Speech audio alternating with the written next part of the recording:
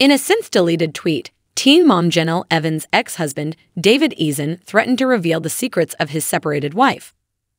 One of the main reasons Jenelle, 32, filed for divorce from her husband David, 35, on Monday was his alleged erratic behavior, according to an exclusive report published in the U.S. Sun.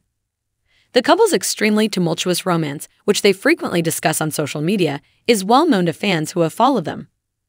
Just before Jenelle's file became public, David attacked his former partner once more on Instagram. Do you guys want to see more of Jenelle's soiled clothes? Everything is going to be let out. But beware, she hasn't done laundry in at least seven months. David penned something, then swiftly removed the message. Following the post's dissemination over other teen mom gossip sites, fans were compelled to respond to the jab. For a long time, I thought he has something on her, and that's why she went back the first time and she continued to stay. A person on Instagram stated. Another said, she called him like, I'm going to call the lawyer guy, you're done. A third said, God, I can't stand this man, but I do want the tea. Stop, this is not necessary. A fourth person said, Don't respect the mother of your children.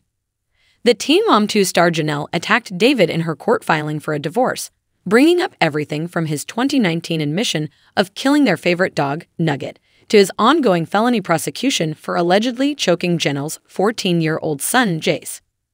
In addition, the complaint included reference to David's purported refusal to work, his extravagant use of Jenelle's funds, and his texts with his ex wife, which she referred to as criminal conversations. In the document filed with the court on February 23, Jenelle stated that she and David had formally split on February 16 with the intent that the separation be permanent. Throughout the duration of the marriage of the parties, the defendant has exhibited concerning and at times disturbing behavior towards the plaintiff, the former MTV star stated. After Jace's repeated attempts to flee, things seemed to reach a breaking point when he accused David of allegedly attacking him. As the sheriff's office looked into the claims, Jenelle remained by her man's side, and David was subsequently charged with misdemeanor child abuse and felony assault by strangulation. After the said incident, Jace was placed in the care of his grandma Barbara, but he has since moved back in with his mother. At her file, Jenelle also mentioned that David is presently residing on her boat, which is berthed at a neighboring marina. She said that David had not contacted her since their split or asked after their seven year old daughter, Ensley.